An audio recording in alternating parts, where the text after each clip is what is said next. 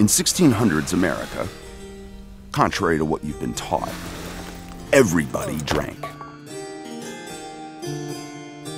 Women drank, kids drank, even the clergy would partake, and keeping the supply going was of the utmost importance.